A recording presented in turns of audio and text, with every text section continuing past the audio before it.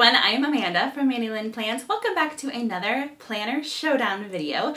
Today I have the Hobonichi Cousin and the Aura Estelle Complete Weekly Vertical A5 planners. We are going to take a look at these two page by page to see how they compare. There are a couple of versions of the Hobonichi Cousin, so just to clarify, I have the hardback cover. It's the full year version Han cover, and this is the English version. They also have a Japanese. They have a two book system called an Avec. This is the complete full year for 2024 and the complete weekly vertical for Aura Estelle.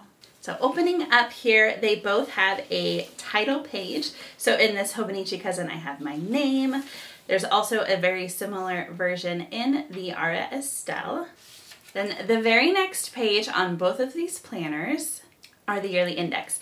Now, the Aura Estelle here first has four years, and each year takes up half a page. So you have last year, the current year, and then the upcoming next two years. For the Hobonichi Cousin, here you can see that there's the full current year, so 2024 is nice and large, and then you have last year, 2023, and then the upcoming year, 2025. You do notice some color on the Hobonichi Cousin. So here the Sundays are red, and the Saturdays are a little bit lighter of a gray color. But the biggest difference that I want to note in these two planners is that the Aura Estelle is a Sunday start monthly calendar and the Hobonichi Cousin is a Monday start. You can see that the text is a little darker on the Aura Estelle for the years and the month names. The color of the actual dates are pretty close. Then we turn the page to the yearly index and these spreads are very similar. Here I have the Hobonichi Cousin on top. You can see that each page is divided into the quarter. So first quarter we have January, February, March for both planners. It's about the same amount of real estate here for each month. The Hobonichi Cousin has the date with some colored boxes for your weekends and it also has Friday, Saturday, Sunday, Monday, Tuesday, etc. In the Aura Estelle, it does have the dates, but it does not include the days of the week. So it might be easy to get a little confused on where you're at in the month. I like that the Hobonichi Cousin includes the day of the week, so that's something to note. Both planners have enough for all 12 months, so January to June and then July to December on the next spread. And then in the Hobonichi Cousin, you flip and you get right into the monthly section. And when you flip in the Aura Estelle, there is a blank spread and you're gonna see a lot of blank spreads in this Aura Estelle. So we'll flip over one more page to get the first monthly. Now you'll notice that in the Hobonichi Cousin, they do give you December of the previous year. So if you like referring back or if you wanna start your planners a little bit early, you do have that extra monthly spread in the Hobonichi Cousin before flipping and getting to the January spread. Here I've already used some stickers. Let me turn it to a spread I haven't used stickers on yet to compare. Again, we are seeing more of the red and the shaded gray for the weekends in the Hobonichi Cousin. Again, just like the year at a glance, the Hobonichi Cousin is a Monday start, the Aura Estelle is a Sunday start showing you the whole Aura Estelle monthly section here. You can see it's a much more minimalistic layout. You do have the month number, the month name, and the year. Your sidebar is completely blank. The only thing that you have in these boxes is the number. So there are no holidays, there are no moon phases. The Sunday and the Saturday are a little bit lighter of a gray. So these layouts are very similar with the exception of the color and the start day.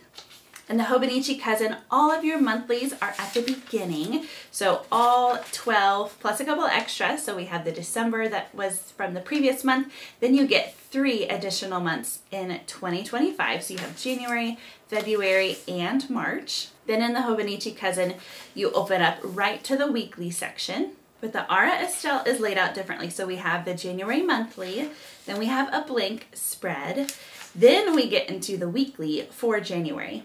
So the Aura Estelle is kind of shuffled its weeklies inside its monthlies, where the Hobonichi has monthlies, then weeklies, then the daily pages. The Aura Estelle has the month and the weeks shuffled in. So here you can see how the weekly looks in the Aura Estelle, completely minimalistic. You have columns, a sidebar, and then one for each of the days of the week. The weekly spread does start on a Monday, not a Sunday. If that throws you off, you could easily use a Sunday sticker or run some washi tape over and move your sidebar over to the right. There are no times. The only thing you have is January, and then it says week one. There's no little mini calendar, very simple compared to the weekly spread in the Hobonichi Cousin. So here we have a dark navy box that says the month name and number, a little mini calendar, it tells you what week it is. There is a basic sidebar. You have a timeline from 5 a.m. to 4 a.m. It is military time, so a full 24 hours there. You do have the day, the date, and then some more color here over here on your weekends, complete with moon phases as well. So here's a comparison where you can see both the Aura Estelle and the Hobonichi Cousin. Let's keep flipping in the Aura Estelle. So we have week one, and then we have a blank spread, and then we get week two, same weekly layout, and a blank spread. We have week three, and a blank spread. Week four, you guessed it, a blank spread. And then we get to February. So not only are the monthlies and the weekly spreads shuffled in, but also a blank spread between every single printed page. This is great if you have extra notes that you want to add in, if you want to create a weekly dashboard for yourself, a big massive running to-do list. For me personally, I would not know how to use these pages well. I would have preferred more of these at the back of the book and we'll get there soon. But if you are the type of person that needs an extra blank spread between every single week, this is the planner for you. This continues on through the entire year. And in the Hobonichi Cousin, you have you have weekly spread after weekly spread. There are no additional blank pages in between all the way through the end of the year. So here we have the last weekly spread and then in the Hobonichi Cousin you turn the page and then you get a blank spread. It says turning the page to a new year. You have a little mini calendar of the previous month and January 2024 before turning and seeing those daily pages. Now the daily pages in the Hobonichi Cousin are dated, so you have the date, the day of the week, the moon phase. It also tells you what day of the year. So January 1st is day one of 365 or 366 days. Every month has this blank spread. There's not even a grid on this page. It is completely blank except for the month name and number. There's also some color to the Hobonichi Cousin daily pages. So for the month of January, this is the color. February color. Here's the March.